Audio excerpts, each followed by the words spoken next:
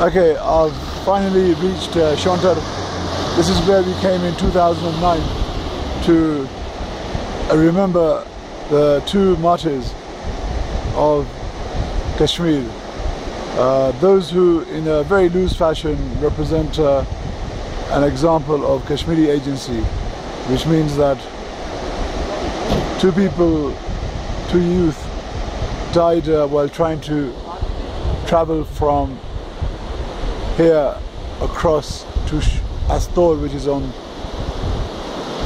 the Gilgit-Baltistan side. We're at the final point of AJK, and this is the highest point as well, over 6,000 meters. And in 2009, when we came here, uh, this is where we stayed, and um, the floods that uh, subsequently ravaged Pakistan, um, we felt the brunt of that here, and the 130 or so kilometers trek through the jungle was something to remember. But in the meantime, I'm going to speak to a gentleman here who lives in Astor, and he's going to explain to me how he travels between here, uh, this endpoint of AJK, across to Gilgit Baltistan.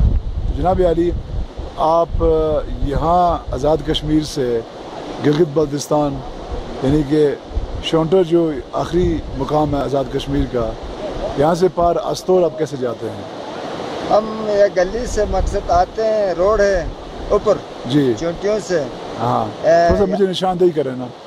یہ اوپر والا چونٹی نہیں ہے۔ یہ اوپر۔ گلی ہاں اوپر والی۔ ہاں، ہاں۔ یہاں سے کراس ہوتا ہے ادھر سے کوئی مال بکرے لے جاتے ہیں۔ جی۔ اچھا ادھر آگے لے جا کر کمری شگما ادھر فوج کو دیتے ہیں۔ اچھا۔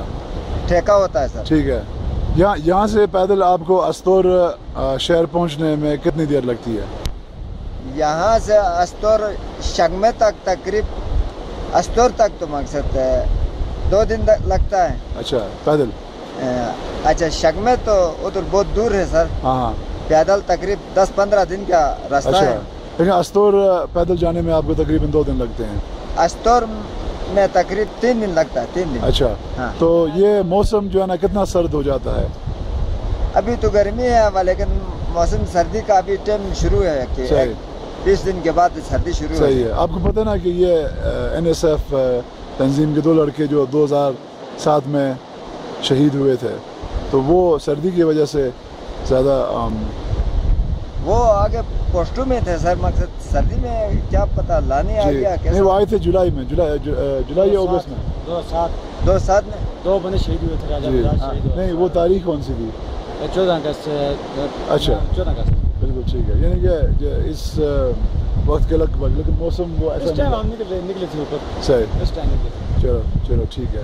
بہت بہت شکریہ جناب۔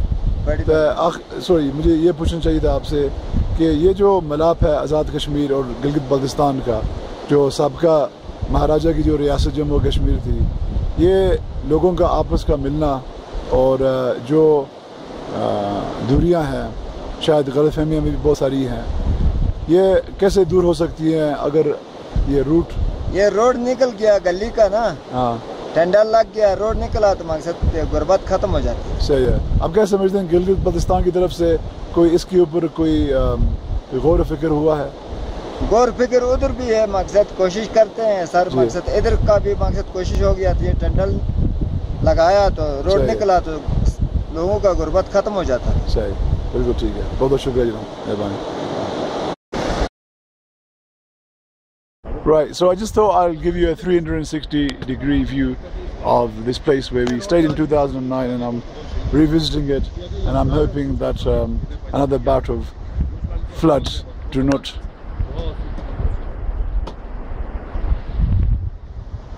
engulf us. Huh? Kiski,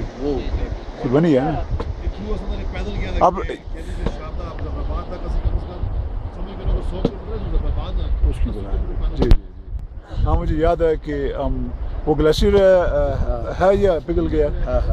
ہے؟ پگھلا نہیں ہے۔ اور یہ جو باقی جو لوگ رہ رہے ہیں یہاں پہ؟ یہ ہوٹل ہے۔ ہوٹل؟ ہوٹل۔ اچھا۔